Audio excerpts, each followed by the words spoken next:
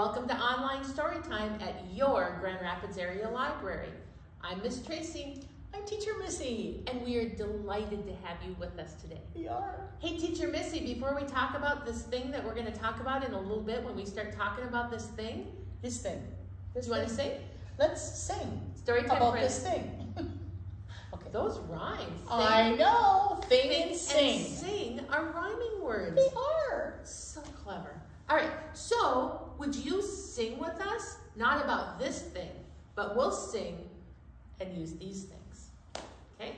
Can you get your clappers ready? Whatever you're going to clap. Here we go. If you want to hear a story, clap your hands. If you want to hear a story, clap your hands. If you want to hear a story, if you want to hear a story, if you want to hear a story, clap your hands. Oh, I blinked my eyes too. Did you? I clapped and I blinked. What if I could stand at the same time. That may take more coordination than I have. Hey, Teacher Missy, what do you want to talk about today? We're going to talk about this thing. Oh my gosh. Do you know what that is? Look at these guys. Do you know what these are? Does that look familiar to you at all? Hmm. They're tiny, tiny, itty bitty birds. They are. They're hummingbirds. Hummingbirds. Hummingbirds, which are, I think, just one of the most amazing creatures. They are so tiny and they fly so fast. Um, Do you know that there are over 300 kinds of hummingbirds on this planet? that's a lot. It's amazing. And it, they, it's true, they are the smallest birds um, known, are hummingbirds. And they have little teeny tiny eggs. And Miss Dion will show us a picture of those right now.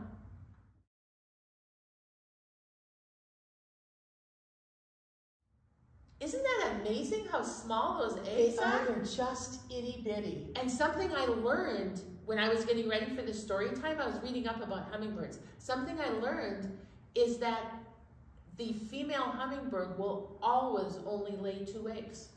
I did not know that. Yeah, so um, other kind of birds will lay different types of eggs, or different numbers of eggs, not different types of eggs, but they will lay different numbers of eggs. A hummingbird will always only lay two. Hmm. Yeah. Well, as little as they are, that's probably all they can hold. Maybe that's true. Yeah. That, that's all that can form in their body. Did you also know that hummingbirds travel all the way to Mexico? They migrate. They do migrate. And when they leave the southern part of the continent and come back, they come back to the same place they left. Isn't that incredible? So the hummingbirds that you might be seeing at your at your house if you have a feeder, or even if you don't, because they love flowers, um, are probably the same ones that came last year. That's crazy. And speaking of flowers, another fact I learned, Storytime friends, is that a hummingbird has to eat like every 10 or 15 minutes throughout the day. And they will go to a thousand or even 2,000 flowers every single day. Wow, They are moving like crazy. that is amazing. I did not know that. That's amazing. I learned a lot of facts about hummingbirds. And another cool fact about hummingbirds is I learned that August, which is the month we're in right now, is one of the best months to find hummingbirds. Because you know, we talked about how hummingbirds migrate, which means that they move with the warmer weather. So when it's wintertime in Minnesota up here, it's still warm down here in Mexico. And when it's even colder in Canada, they will migrate farther south. Well, what's happening right now is that the eggs that were born this spring are big enough that they have flown away from the nest. And the hummingbirds that, ha- that are migrating or moving are coming here from Canada. So in Minnesota, in August, we have the hummingbirds that were here all summer. We have the hummingbirds that were just born this year, and we have the hummingbirds that are starting to migrate south. So in August in Minnesota is one of the best times to see hummingbirds. That is amazing. Did you know there is an insect called a hummingbird moth? Oh, I have heard that. Have you ever seen one? I have not. They look just like a hummingbird. Wow. And, and they buzz around just in that, you know, same fashion. So if you're, because we have a feeder in front of our house, so we do a lot of watching them. But there, it, it, it, you have to look, you know, like two or three times to see if it's the moth or the hummingbird. It's, they're pretty cool. and I only see them this time of year, Okay. like not in the early part of the summer. Okay. Wow, that is so cool. Hey, Teacher Missy, do you have any good books about hummingbirds? I have books about hummingbirds.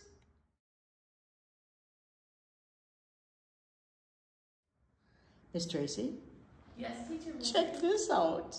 That's a beautiful ruby-throated hummingbird. Isn't that just beautiful? Do beautiful? you know that's the kind of hummingbird we have most in the United States is the ruby-throated hummingbird? I think, and that's what I see at my house. Um, and, and the females and the males look a little different. Do you know who has the ruby throat? I don't know. It's the boy hummingbird. He gets to be the pretty one. And the female does not have the red strip, but she's got beautiful kind of greenish and gold feathers. And this is called Tiny, Tiny Bird. A Hummingbird's Amazing Journey, written by Robert Burleigh and illustrated by Wendell Minor. And this book comes to us from Henry Holt Publishing. We're gonna find a lot of cool things out, you guys. You can't really see because of my cover, but I'm gonna show you. Right here it shows a chicken egg, and here's a hummingbird egg. Look at how tiny they are. And this is actually showing you about the size. They're about three and a half inches tall and just maybe five inches sideways. So they're little, just little bitty things. Hummingbird wings can fly at more than 50 times a second. And a second is a very short period of time. Like when I say 1001, that hummingbird has flapped its wings 50 times. Wow. Unbelievable. Tiny bird. Today is the day. In the yard, the last orange flowers open their petals to the slanting sun. A tiny ruby-throated hummingbird is feeding, just three inches long. Tiny bird hovers over a blossom as if hanging from an unseen thread. They're like little helicopters. Whir. Its wings flutter more than 50 times a second, so rapidly that they're nearly invisible. They go so fast you can hardly see them. Zip! It darts up. Zap! It flits down. Flower to flower, backward, forward, under, over, like an acrobat in the air. Radiant green feathers glimmering, ruby throat shimmering, tiny bird delicately dips its beak into the heart of each flower, extracting precious nectar. It will need as much food as it can gather for the hard trip ahead. And that's what Miss Tracy was talking about, that migration. That little tiny bird is gonna travel, well, it's probably a couple thousand miles. It is, yeah.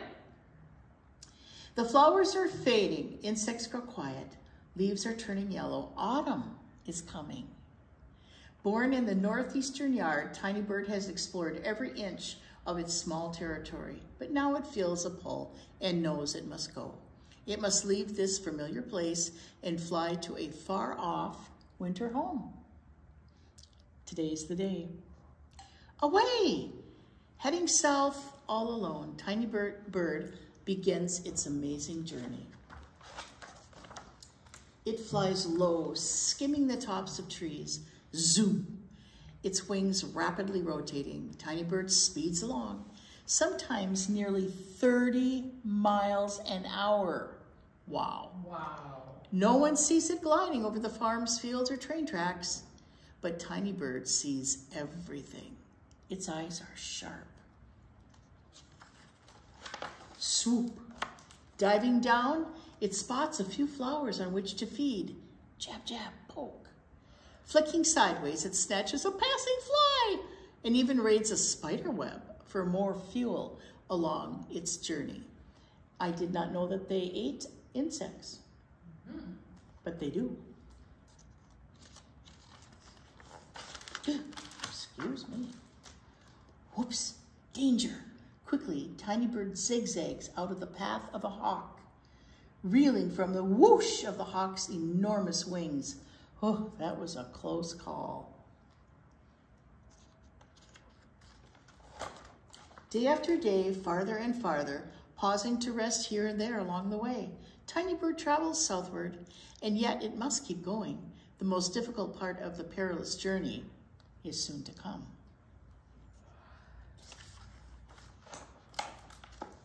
The Gulf of Mexico lies waiting.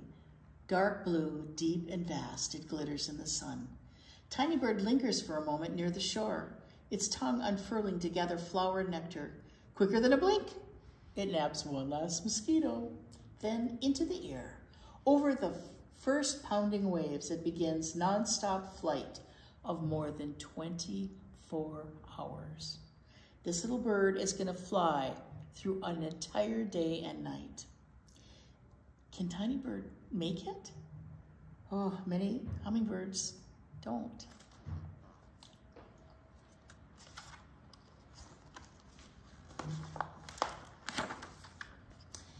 As far as the distant horizon, there is nothing but sky and sea, an empty expanse of water stretching in all directions. Tiny bird makes its way, staying just inside the curve of the waves to protect itself from the onrushing wind. Mm, and he's right here.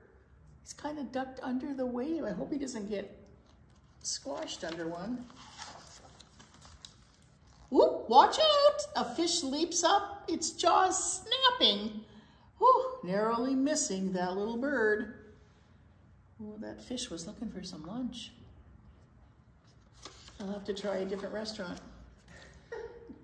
As the setting sun tints the sky orange, dark clouds form. A sudden storm stirs the sea. Between flashes of lightning, Tiny Bird struggles fighting through the wind and pelting rain. Thunder crashes, ba-boom. Slower, slower. Tiny bird begins to falter. Its wings grow heavy as it dips, even closer to the dangerous water. You think he's getting tired? Oh my goodness. What a big journey for such a little thing. Finally, the wind dies down the storm moves on. In the darkness ahead, a small fishing boat rocks, its dim light swaying, a resting place.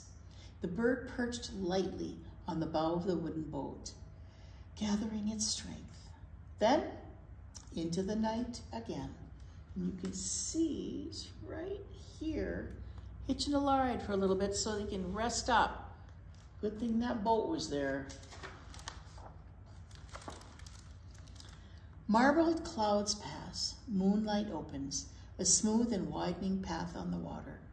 Millions of stars blanket the sky. At last, the earth's horizon glimmers with the first hint of day. Suddenly, in the dawn light, above a wave's curl, land. You can see land. Green trees and vines, rainbow-hued flowers. Oh, Tiny Bird is worn and thin after its travels. Exhausted, it rests on a twig for just precious seconds. Then it flits into the forest to feed on the plentiful flowers and insects. So now we know they eat bugs too, don't we? Today is the day after flying more than 1,000 500 miles, Tiny Bird has arrived. It has reached its winter home at last. In the spring, it will return, flying back to the same yard it left so many months earlier. But for now, Tiny Bird rests and feeds, flickering from flower to flower, like an emerald spark flashing in the bright sun. Yes, today is the day. And he finally made the journey. Isn't that amazing? I bet he's glad to have some place to rest. Wow, what an amazing journey.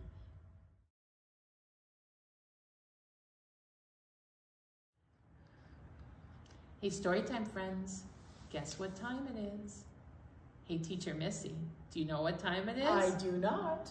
It's flannel time. Oh yeah, it's flannel time. Yeah, I know. It's it's really a big deal.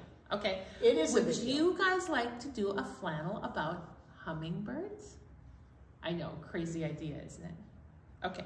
This is called Five Little Hummingbirds. And this is how this goes. One little hummingbird zipping around the flowers. It looked so yummy. Along came another. Here he is, He goes, oh, delicious. I'm gonna eat the nectar from this one. Two little hummers sipping flower juice. Along came another.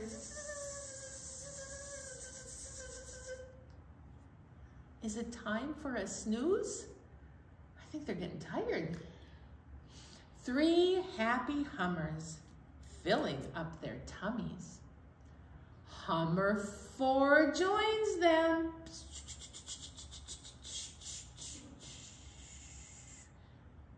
The nectar is so yummy. Four hummingbirds, one, two, three, four, thinking of going south. A fifth one joins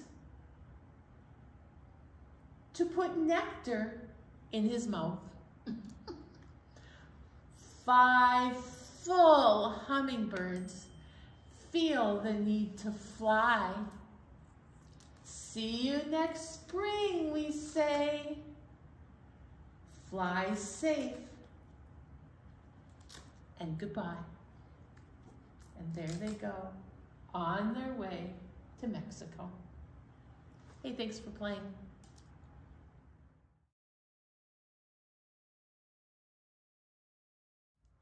Miss Tracy, check this out. I have another book. Oh, that's a little hummingbird on the front. It is a little hummingbird. And this little hummingbird also has, a, looks like a red stripe around his throat. So I bet that's the same kind of hummingbird that we read earlier. This is called Little Green. Little Green. Um, written and illustrated by Keith Baker. Yeah, that's our, eh, so just one person worked on this book. And it comes to us from Harcourt um, Books. And we're gonna find out about Little Green.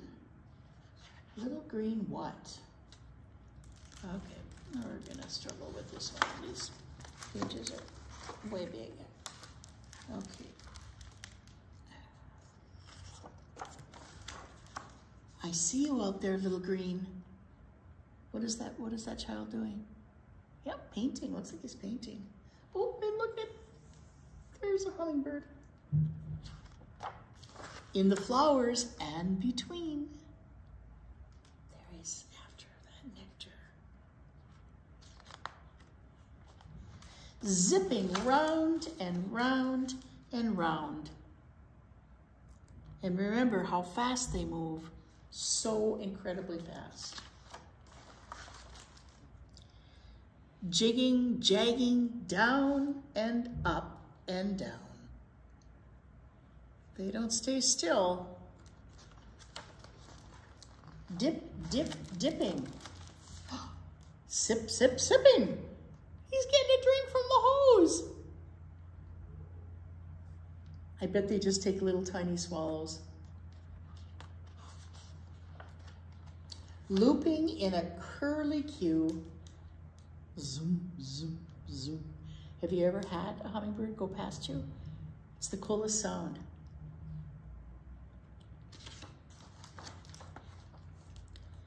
Little Green, I still see you. I wonder where Little Green is. Here, here's Little Green. Lots of flowers there for that. going, coming, softly humming, and they do make the coolest noise. Just a little humming sound, which I guess is why we call them hummingbirds. Stopping, starting, dashing, darting. There's that zigzag. Zigging, zagging everywhere. And you see all those white marks show where he's going. So busy. So many flowers. Hovering up in the air. There he is.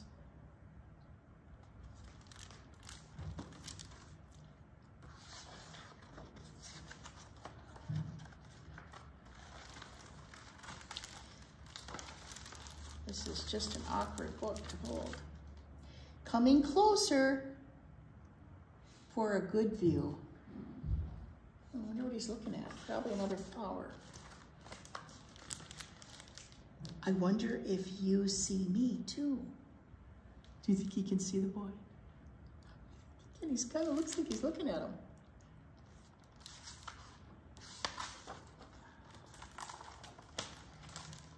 Well, I've been busy watching you. Yes, he has.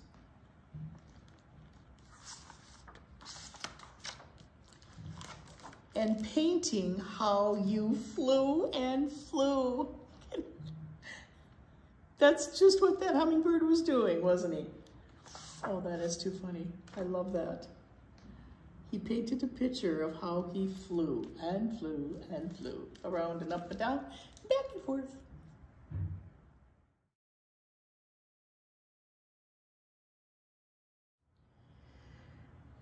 Hey, story time, friends. Hey, Teacher Missy. Yes, ma'am. How about we do a little shaking? Okay, so out of your story time kit, I'd like you to find your shaker egg. And if you don't have a shaker egg, you can shake almost anything. We've made shakers using dried beans and envelopes. Teacher Missy, how about if you use, this is just bottle caps in a plastic container. We'll give that one to Teacher Well, that looks like a good one. Yeah, so you can shake almost anything. So gather all your shakers and we are gonna shake about hummingbirds. Are you, excuse me? Did you hear something? I did hear something. Yes, of course. Story time friends. Giraffe would like to be our story time friend today. Hello, Teacher Missy. Good morning, giraffe. Hello, Storytime friends. Did you say hello to Giraffe? Good. All right. Giraffe is going to sit here while we do some shaking. Okay, we're going to start with a warm-up shaker song, one that we haven't done in a while, and it's called We Shake Our Eggs Together. You ready? Here we go. We shake our eggs together, we shake our eggs together, eggs together, because it's fun to do. Shake them up high, shake them down low, shake them in the middle, because it's fun to do. Whoa! Should we do that one more time? Okay, here we go. We shake our eggs together, we shake our eggs together, we shake our eggs together, because it's fun to do. We shake them up high, we shake them down low, we shake them in the middle, because it's fun to do. All right, that was some great shaking. Now, our egg or our shaker is going to turn into, guess what? A hummingbird. Oh no. Doesn't it kind of sound a little bit like a hummingbird? The way that we hear the wings go zzz. Boy, that, yeah. All right? So we are going to sing a song together called There's a Hummingbird in the Air. And I actually have some words back here for our friend teacher Missy. She grabbed them herself on the other side. Saw the title sitting right there. She is very competent when it comes to grabbing things, and she I did it all by I'm a herself. grabber. I know. She didn't even need me, not even one time. Okay. All right. So we are gonna sing. There's a hummingbird in the air. All right, and our hummingbird is gonna be landing in some pretty crazy spaces. Here we go. There's a hummingbird in the air, in the air. There's a hummingbird in the air, in the air. There's a hummingbird in the air. Now he's flying in my hair. There's a hummingbird in the air, in the air. Did your hummingbirds land in your hair? I'm not sure. I'm comfortable with a hummingbird in my hair. Let's put him someplace else. Okay, Let's here we go. There's a hummingbird on my leg, on my leg. There's a hummingbird on my leg, on my leg. There's a hummer on my leg. I hope he doesn't lay an egg. There's a hummingbird on my leg, on my leg. Do you know there's something wrong with that song? When I wrote that, I wrote, I hope he doesn't lay an egg. Male hummingbirds don't lay an egg. Maybe we should, let's sing that part again. Okay, here we go. There's a hummingbird on my leg, on my leg. There's a hummingbird on my leg, on my leg. There's a hummer on my leg. I hope she doesn't lay an egg. There's a hummingbird on my leg, on my leg. Oh my goodness. All right. Where else can your hummingbird go? There's a hummingbird on my nose, on my nose. There's a hummingbird on my nose, on my nose. There's a hummer on my nose, I can see his tiny toes. There's a hummingbird on my nose, on my nose. So tiny. Did your hummer land on your, on your nose too? And you can make your hummer land wherever you want to. Here it goes. Hey, thanks for playing. Story time, friends. Can you even believe all that we learned about hummingbirds today? Hey, Teacher Missy, what was your favorite new fact about hummingbirds today? My favorite new fact is that they only lay two tiny eggs. I know that was crazy. Yeah, I did not know that, and that is amazing. And I just think how little those eggs How are. tiny they are. My favorite new fact of the day was that a hummingbird has to eat every 15 minutes and they go between a thousand and two thousand flowers every day. Right. And they travel thousands of miles to get to their winter homes. That's right. Wow. yeah, that's well, I'm- miraculous. I love learning about hummingbirds. It was so much fun. They're they're incredible, incredible little birds. And we've read some great stories about hummingbirds and sang a little hummingbird ditty down here about them drinking all of their nectar from their flowers. I had happy. such a good day. Yeah, this is awesome. Storytime friends, I think it's time for us to leave. Would you sing with us? All right, here we go. Oh, it's time to say goodbye to all our friends. Yes, it's time to say goodbye to all our friends. Story time is done today. Now it's time to go and play. Oh, it's time to say goodbye to all our friends. Goodbye, everybody. See if you can find a hummingbird.